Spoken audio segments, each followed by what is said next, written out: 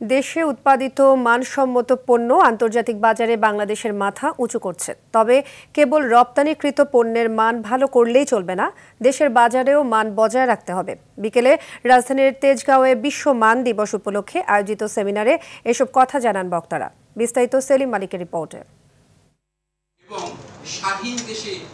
দেশে উৎপাদিত পণ্য বাজারজাত ও রপ্তানিতে কেমন মান বজায় রাখেন ব্যবসায়ীরা? এক্ষেত্রে মান নিয়ন্ত্রক সংস্থা বিএসটিআই বা কি করছে? এসব বিষয় জানতে এই সেমিনার। সচিব শিল্প মন্ত্রণালয় সম্মানিত এতে এফবিসিসিআই সভাপতি বলেন উৎকৃষ্ট মানের পণ্য দিয়ে বিদেশ জয় করছে বাংলাদেশ। তবে দেশের ভোক্তাদের জন্য উৎপাদিত পণ্যেরও মান ধরে রাখতে হবে।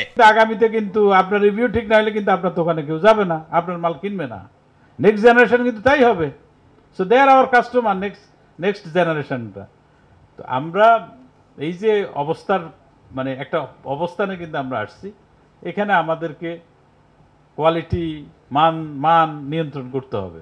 অতি মুনাফা লোভী ব্যবসায়ীদের ছাড় দেওয়া হবে না বলে হুঁশিয়ারি দেন শিল্প প্রতিমন্ত্রী। যেসব ব্যবসায়ীরা সিন্ডিকেট সৃষ্টি করে যারা অর্থ পিপাসু অর্থ লোভী যারা মানুষের রক্ত পান করতে দ্বিধাবোধ করে না কাজেই তাদেরকে সাহায্য করার জন্য বিএসটি আরও গুরুত্বপূর্ণ ভূমিকা পালন করতে হবে।